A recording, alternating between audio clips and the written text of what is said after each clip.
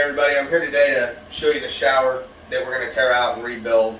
The uh, homeowners less than a year ago had the tub removed and this shower built, but the shower floor was constantly holding water.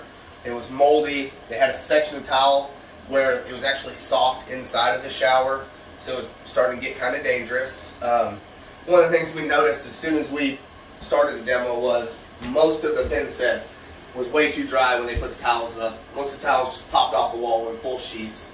Um, I guess everybody really likes the whole duct tape seal joints on all the corners and around the niche. So the main key that we figured out, which is why it was ponding so bad, is there's not an actual shower pan underneath this shower floor. All they did was they poured concrete right on top of the HardieBacker and then laid their tile. So there's no there's no substrate for any for any water, um, no pan, and they didn't even do like the old school guys where they do the rubber liner or anything like that. Uh, and we figured out why the tiles were sinking right here underneath the shower valve. They never patched the subfloor in where the existing tub drain was. They just laid quarter inch HardieBacker over it. So that HardieBacker had actually already broke and the concrete was disintegrating underneath it.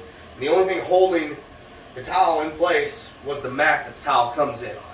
So luckily the homeowner's foot didn't go through that. Um, but yeah, it was just pretty wild find. You know, you may find some wild stuff every now and then, but more or less it was just very odd that there's no pan whatsoever. Just some concrete poured on top of the HardieBacker.